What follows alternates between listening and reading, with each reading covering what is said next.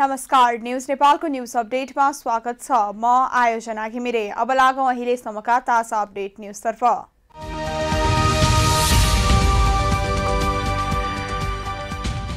वरिष्ठ गायक तथा सङ्गीतकार भक्तराज आचार्यको पार्थिव शरीरलाई अन्तिम श्रद्धाञ्जलीका लागि आज बिहान सङ्गीत तथा नाट्य प्रज्ञा प्रतिष्ठानको परिसरमा राखिने भएको छ। बिहान नौ बजेदेखि परिसरमा राख्ने र आजै अन्तिम संस्कार गर्ने तयारी छ। आचार्यको निधनप्रति सङ्गीतकर्मी सर्वसाधारण तथा राजनैतिक दलका नेता लगायतले श्रद्धाञ्जली व्यक्त गरिरहेका छन्। उहाँ उन्नाइस सय उनान्सय साल असोज सोह्रमा धनकुटामा जन्मनु भएको हो। आचार्यको परिवार धनकुटाबाट भारतको कालिम्पोङ डुम्सीपाडामा बसाइ सरेको थियो। जम्मा सोह्र वर्ष मात्रै सङ्गीतिक जीवनमा सक्रिय भक्तराज आचार्यका झण्डै साढे चार सय गीत रेकर्ड भएका छन्।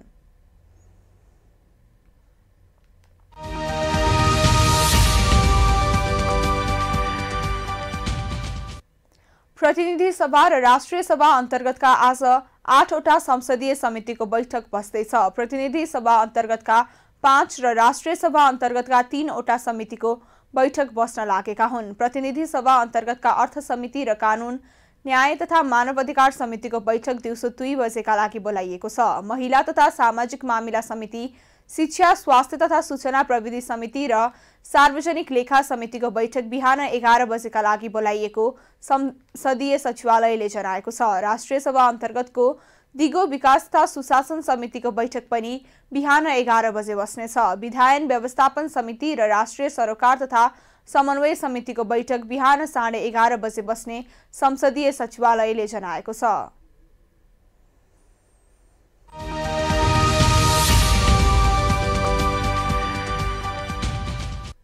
प्रधानमन्त्री पुष्पकमल दाहाल प्रचण्डले दुग्ध विकास संस्थानले दूध खरिद गरे बापत किसानलाई दिनुपर्ने भुक्तानी तुरुन्त दिन निर्देशन गर्नुभएको छ।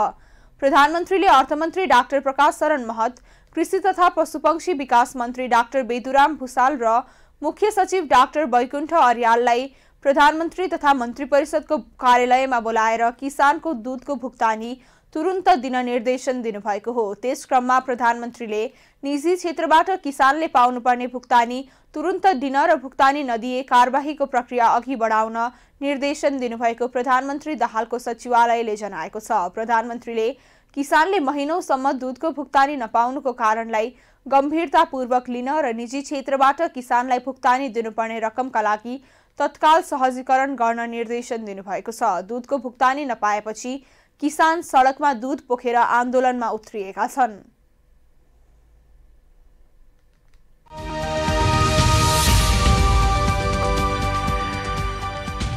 नेकपा माओवादी केन्द्रको स्थायी समिति बैठक आज बस्दैछ नेताहरूको कार्यविभाजनका सन्दर्भमा आवश्यक तयारी पूरा नभएपछि आइतबारका लागि निर्धारण भएको बैठक आजका लागि बोलाइएको हो। बैठक आज बिहान साढे आठ बजे बसेको छ। पार्टी अध्यक्ष एवं प्रधानमन्त्री पुष्पकमल दाहाल प्रचण्डले प्रदेशका इन्चार्ज लगायतको कार्यविभाजनका सन्दर्भमा आवश्यक गृह कार्य गर्न पदाधिकारीलाई जिम्मेवारी दिनुभएको छ। हालै विधान सम्मेलन समापन गरेको माओवादी केन्द्रले पार्टीका शीर्ष नेताको कार्यविभाजन तथा जनपरिचालन लगायत विषयमा नियमित छलफल गरिरहेको छ।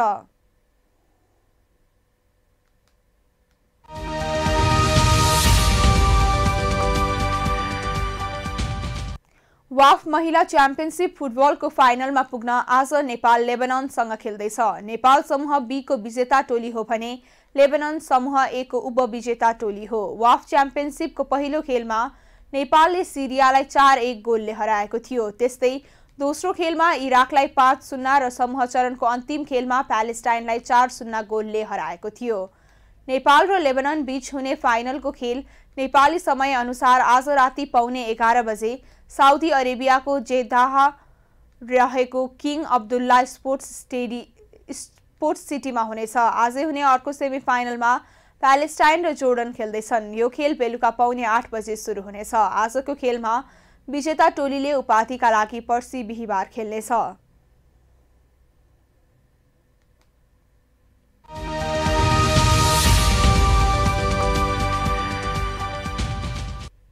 आजदेखि सुरु हुने त्रिदेशीय टी ट्वेन्टी क्रिकेट श्रृङ्खलामा नेपालले नामिबियासँग खेल्दै प्रतियोगिताको सुरुवात गर्दैछ। श्रृङ्खलामा नेपालसँगै नामिबिया र नेदरल्यान्ड्स छन्। कृतिपुर स्थित त्रिवी क्रिकेट मैदानमा हुने खेल बिहान साढे एघार बजेदेखि सुरु हुनेछ। नेपालले यसै वर्षको जुनमा हुने टी ट्वेन्टी विश्वकपको तयारीका लागि घरेलु मैदानमा आइसिसी क्रिकेट विश्वकप लिग टूको खेलका लागि सहभागी टिम टिमसँग श्रृङ्खला आयोजना गरेको हो। श्रृङ्खलाका लागि नेपाली टिमका मुख्य प्रशिक्षक मोन्टी देसाईले रोहित कुमार पौडेलको कप्तानीमा अठार सदस्यीय टोली घोषणा गरिसकेका छन्। आजको खेलपछि नेपालले फागुन सोह्र गते नेदरल्यान्डसँग खेल्नेछ। यस्तै नेपालले फागुन अठार गते पुनः नामिबिया र उन्नाइस गते नेदरल्यान्डसँग खेल्नेछ। श्रृङ्खलाको लिग चरणबाट शीर्ष दुई टोली उपाधिका लागि फाइनलमा भिड्नेछन्। फाइनल खेल फागुन बाइस गते हुनेछ।